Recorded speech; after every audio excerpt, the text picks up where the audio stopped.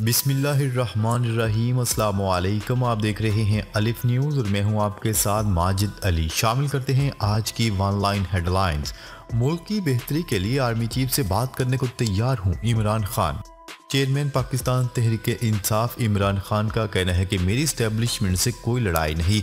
मुल्क की बेहतरी के लिए आर्मी चीफ से बात करने को तैयार हूँ। अब कोई बात करने को तैयार नहीं तो मैं क्या करूँ? सबक वजी अजम इमरान खान ने यह बात सीनियर सहाफ़ियों से बातचीत करते हुए कही, जिसमें उनका कहना था कि जनरल रिटायर्ड बाजवा ने मेरी पीठ में छुरा घोंपा। जनरल रिटायर्ड बाजवा ने रूस की मुखालफ में तकरीर की इस तकरीर पर जनरल रिटायर्ड बाजवा का कोर्ट मार्शल होना चाहिए। शुमाली कोरिया की वार्निंग मुस्तरद, अमेरिका और जनूबी कोरिया डट गए। जनूबी कोरिया और अमेरिका ने शुमाली कोरिया की वार्निंग को यकसर मुस्तरद करते हुए फौजी मशक़ें मुनद करने की ठान ली। शुमाली कोरिया के इंतबाह के बावजूद जनूबी कोरिया और अमेरिका मुश्तर फौजी जंगी मशक़ें करेंगे। शुमाली कोरिया की जानब से ऐसी मशक़ों के खिलाफ बेमिसाल साख्त कार्रवाई करने की धमकी के बावजूद जनूबी कोरिया और अमेरिका इस माह के आखिर में बड़े पैमाने पर फौजी जंगी मशक़ें करेंगे। दोनों ममालिक की अफवाज ने जुमे को एक बयान में कहा है कि जनूबी कोरिया और अमरीकी फ़ौजें अपने मुश्तर दफाई सलाहितों को मज़बूत बनाने के लिए तेरह से तेईस मार्च तक फौजी मशकों का इनका करेंगी। पंजाब असम्बली इंतबात सदर ममलिकत ने तारीख का ऐलान कर दिया। सदर ममलिकत डॉक्टर आरफ अलवी ने तीस अप्रैल बरोज एतवार को पंजाब असम्बली के आम इंतबात कराने का ऐलान कर दिया। सदर ममलिकत ने तारीख का ऐलान इलेक्शन कमीशन की जानब से तजवीज़ करदा तारीखों पर गौर करने के बाद किया। कबल अजी इलेक्शन कमीशन ने पंजाब इंतबात के लिए तीस अप्रैल से सात मई तक की तारीखें तजवीज़ कर दी। इलेक्शन कमीशन ने सदर ममलिकत और गवर्नर खैबर पख्तूनख्वा को ख़त लिख दिया। चीफ इलेक्शन कमीशन की तरफ़ से सुप्रीम कोर्ट के फैसले की रोशनी में सदर ममलिकत को ख़त अरसाल कर दिया गया। बरतानिया में अब पाउंड नहीं डॉलर में लेन देन होगा। बरतानिया, जो इन दिनों शदीद माशी बहरान और महँगाई से दो चार है, गैर यकीनी की सूरत हाल ने इसकी मुल्की करेंसी पाउंड्स की अहमियत भी कम कर दी। गैर मुल्की खबर इदारे की रिपोर्ट के मुताबिक बरतानिया इन दिनों शदीद माशी बहरान और महँगाई से दो चार है। कसाद बाजारी अरूज पर पहुँचने से हर तबका फ़िक्र मुतासर हो रहा है। अमेरिका का एलोन मस्क को इंसानी दिमाग में कंप्यूटर चिप नस्ब करने की इजाज़त देने से इनकार। अमेरिका के अदारे एफडीए ने एलोन मस्क की कंपनी न्यूरा लिंक को इंसानी दिमाग में कंप्यूटर चिप नस्ब करने के क्लिनिकल ट्रायल की इजाज़त देने से इनकार कर दिया। एक रिपोर्ट के मुताबिक एफडीए की जानब से 2022 में इंसानों पर क्लिनिकल ट्रायल की इजाज़त देने से इनकार किया गया था। रिपोर्ट में बताया गया है कि अमरीकी रेगुलेटर अदारे की जानब से इस डिवाइस की बैटरी के हवाले से खदशात ज़ाहिर किए गए थे। रिपोर्ट के मुताबिक एफ़ डी ए ने खदशा ज़ाहिर किया था कि इस डिवाइस से इंसानी जानों को ख़तरात लाक हो सकते हैं। भारत के लिए आलमी सतह पर एक और शर्मिंदगी जी ट्वेंटी इजलास बुरी तरह नाकाम।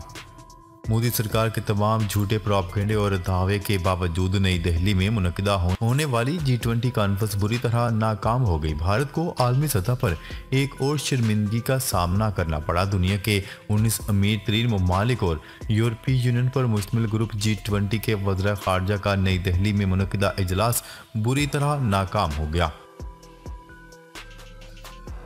यूक्रेन को लड़ाका तैयारों की फ्राहमी का मामला फ़िलहाल एजेंडे में शामिल नहीं, जर्मनी का अहम बयान सामने आ गया जर्मनी का कहना है कि यूक्रेन को लड़ाका तैयार की फ्राहमी का मामला फ़िलहाल जर्मनी के एजेंडे में शामिल नहीं है।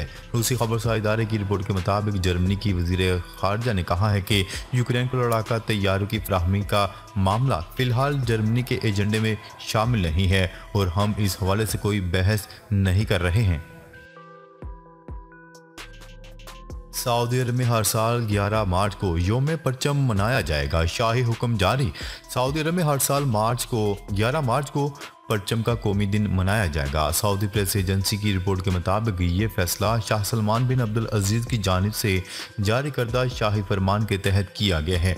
मीडिया रिपोर्ट्स के मुताबिक 11 मार्च उन्नीस सौ सैंतीस को पहली मरतबा कौमी परचम का दिन मनाया गया था, जब सबक Saudi फरमारवा Shah Abdul Aziz Al Saud ने इस परचम को सऊदी ममलकत की नुमाइंदगी के तौर पर अख्तियार किया था।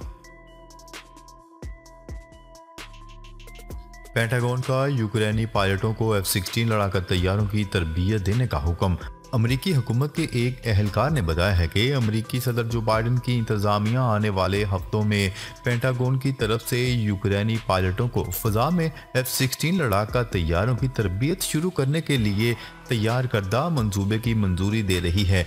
यूक्रेनी पायलटों को ये तरबियत अमरीकी फौजी अड्डों पर दी जाएगी। अहलकारों ने अपना नाम ज़ाहिर न करने की शर्त पर कहा है कि वो अभी इस मामले पर बात करने के मुजाज नहीं। उनका कहना था कि एफ़ सिक्सटीन लड़ाका तैयारों की तरबियती अमल में कम अज़ कम दस माह लग सकते हैं।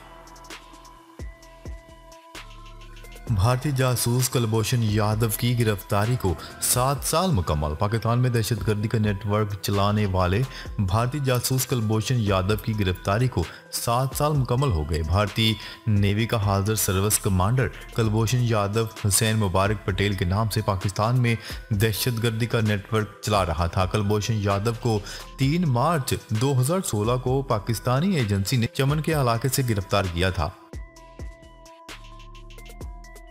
बरतानवी वज़ीर का अवाम को शलजम खाने का मशवरा। बरतानवी वज़ीर ने सब्जियों की किल्लत के बायस अपनी आवाम को सब्ज़ियाँ खाने का मशवरा दे डाला। गैर मुल्की खबरसा एजेंसी की रिपोर्ट के मुताबिक बरतानिया में सब्जियों की किल्लत के बायस मुख्तलिफ़ सुपर स्टोर्स पर अवाम को टमाटर, मिर्च और खीरे महदूद तादाद में दिए जा रहे हैं, जबकि छोटे स्टोर पर ये अशिया दस्तियाब नहीं है। यूरोपीय यूनियन की सरबरा सरकारी दौरे पर लंदन गई तो वहाँ के अवाम ने सोशल मीडिया पर तंजन कहा कि क्या आप हमारे लिए कुछ टमाटर ला सकती हैं? बड़ी उड़ान के बाद डॉलर की कदर में कमी दो सौ चौहत्तर रुपये अठहत्तर पैसे का हो गया।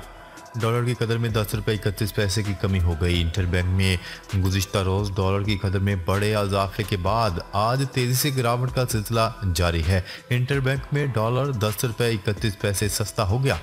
एक्सचेंज कंपनीज़ एसोसिएशन पाकिस्तान के मुताबिक इंटरबैंक में डॉलर दो सौ चौहत्तर रुपये अठहत्तर पैसे पर ट्रेड कर रहा है। वज़ीर ममलिकत पेट्रोलियम मुसद्दिक मलिक ने तेल मजीद महँगा होने का इशारा दे दिया।